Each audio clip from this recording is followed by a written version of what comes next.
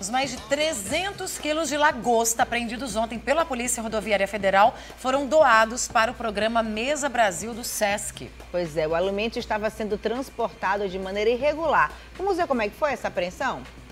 As lagostas vinham de Caiçara do Norte, tinham como destino uma empresa no bairro da Ribeira, em Natal. O veículo foi interceptado pela Polícia Rodoviária Federal durante uma fiscalização de rotina na BR em Ceará Mirim. A gente visualizou esse veículo que estava transportando algumas caixas de isopor, fizemos a abordagem, verificamos que se tratava de lagosta, é, só que a lagosta estava toda morta, do gelo, mas estava toda morta e a normativa hoje ambiental obriga que pelo menos 70% da lagosta transportada esteja viva, que não era o caso.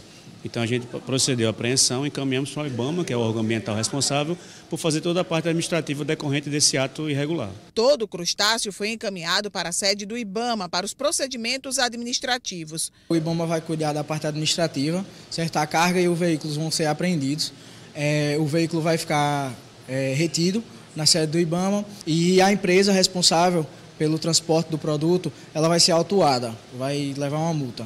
De acordo com a legislação, a carga de lagosta, para ser transportada, precisa ter 70% dos animais vivos. Nesse caso, além da multa, o proprietário teve o veículo e os materiais envolvidos no transporte apreendidos. Os quase 340 quilos de lagosta foram doados ao programa Mesa Brasil do SESC, que destina os crustáceos para instituições cadastradas. O SESC Mesa Brasil recebe doações já rotineiramente de várias situações como essas e nós temos um cadastro de 640 instituições que são registradas no Mesa Brasil aqui no estado.